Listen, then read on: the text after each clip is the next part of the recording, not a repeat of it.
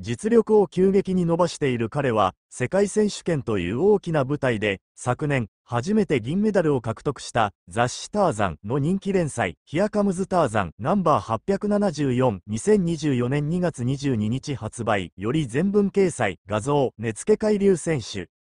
世界選手権で技が評価され、世界に通用することが分かってきた静岡市にある東静岡アートスポーツ広場。その日、根付シードラゴンは多くのセクション、構造物を自由に楽しみながら滑り続け、華麗な技を披露した、見るそばにとって驚きの連続だった。彼は、昨年末に東京の有明コロシアムで開催されたスケートボードストリートの世界選手権で銀メダルを獲得した。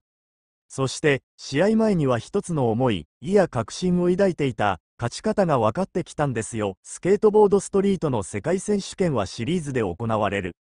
根付はその第1戦で23位、第4戦ではいきなり4位へとランクアップを果たした。その過程で、どうすればジャッジに響き、高得点が取れるかが、分かり始めたというのである。ランの時の構成、技の一つ一つの難易度も大事ですけど、それらをどううまくつなげられるかというところが、すごく大事。そこを変えるように意識したら点数が出るようになった。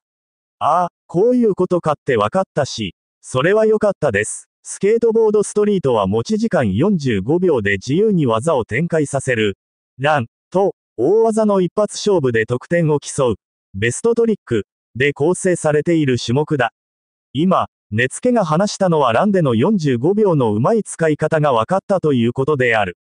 そして、もう一つ、慣れが重要だと話す。世界的な大会に初めて出た時は、やっぱり見たことがあるすごい人がいっぱいいるから、雰囲気とかに持ってかれちゃったけど、今はそれがなくなった。日本人、選手の友達もいるし、みんなと話しながら、いつも通りみたいな感じでできるようになりました。本当にいつもと同じにできることが理想なんですよね。試合になれ、平常心を保つことも覚えた。ただ、スケートボードの女神は、そうやすやすとは根付けに微笑んではくれなかった。翌日からの世界選手権では苦難が待っていたのだ。